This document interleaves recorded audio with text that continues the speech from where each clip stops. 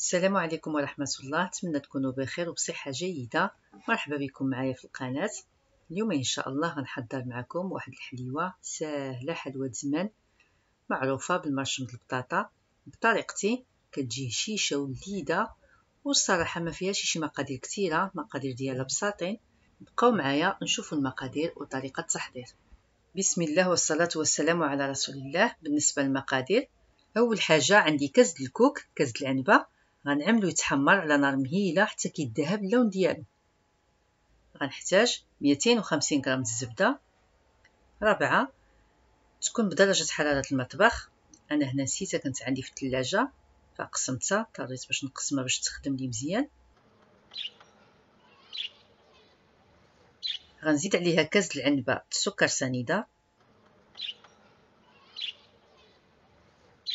وقبيصة الملحة.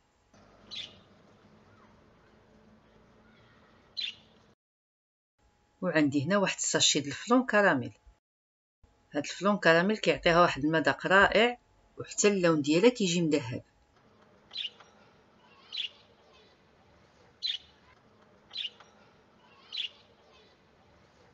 صافي غادي نخدم الزبدة مع السكر مزيان مع داك الفلون.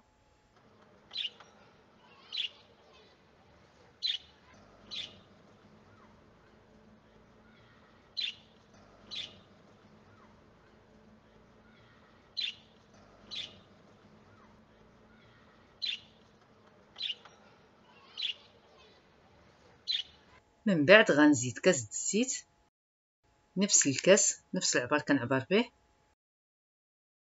وغنزيد جوج بيضات.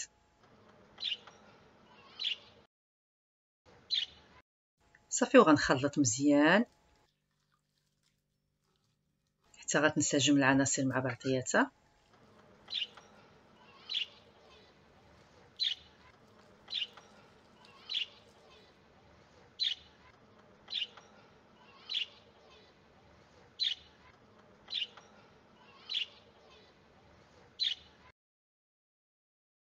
ومن بعد غنحمر داك الكاس الكوك.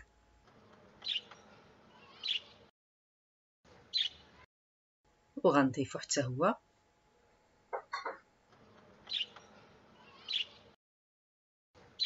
هاد الكوك محمر كيعطيها واحد اللون غزال وفي نفس الوقت كيجي le goût ديالها مزيون. شحال هادي الصراحة كنا كنعملوها بالكوك عادي وكنحك فيها الحامض حتى هي كانت كتجي غزالة. ممكن تعملوا ديك الطريقة هذيك ولكن مؤخرا وليت كنعمل لها هاد الكوك كنحمرو. ومع داك الفلون الكراميل كيعطيها واحد النكهة خاصة.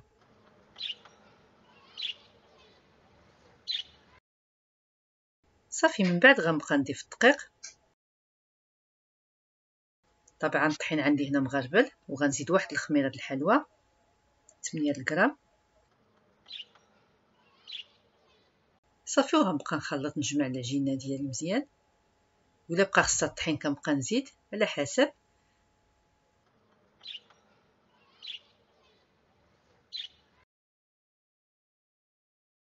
صافي غنبقى مستمرة حتى غنجمع العجينة ديالي والعجين الغريبة تبارك الله كلشي راه كيعرفو.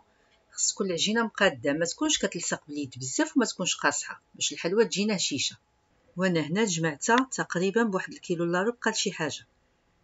وفي واحد الطبيصة عملت شوية د الكوك. واحد معلقه سنيده كبيرة وزيت واحد الساشي د الفاني. هادو باش غنعمل فيهم الغريبة ملي غنكون غنطبعها. صافي وكما كتشوفوا خديت هذا المرشم هذا. الطبع هذا معروف د البطاطا قطعه البطاطا. صافي هو اللي غنخدم به.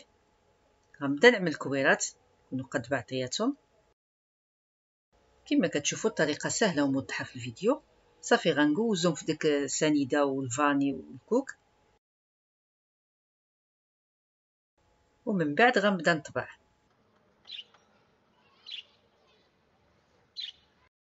هاد المطبع ضروري تعملوه في شوية الطحين باش ما يلصق لكم شي.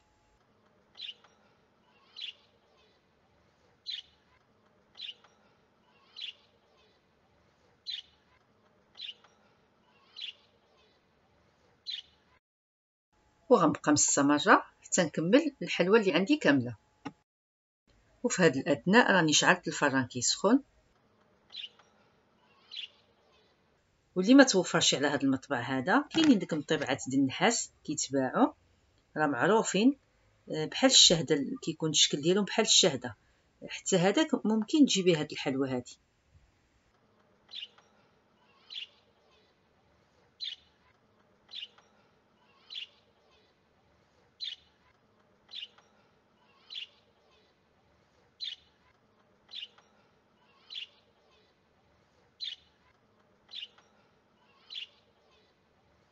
ودابا غندخلها الفران. درجة الحرارة تكون متوسطة. غنخليها طيب من تحت مزيان حتى كتحمر ومن بعد غادي نحمرها على وجهها. وها هي الحلوى من بعد ما خرجتها من الفران. كيجي اللون ديالها بحال هكذا مذهب. دغيا كطيب ما كتعطرش بزاف غير ما نغفلوش عليها باش ما تحمرش كثر وهذا هو الشكل النهائي ديال الحلوى. كما كتشوفوا زينتها بشوية الشوكولاط كحل ذوبتو عملت لها خطوط بحال هكذا خفاف. تقدروا تخليوها كما هي.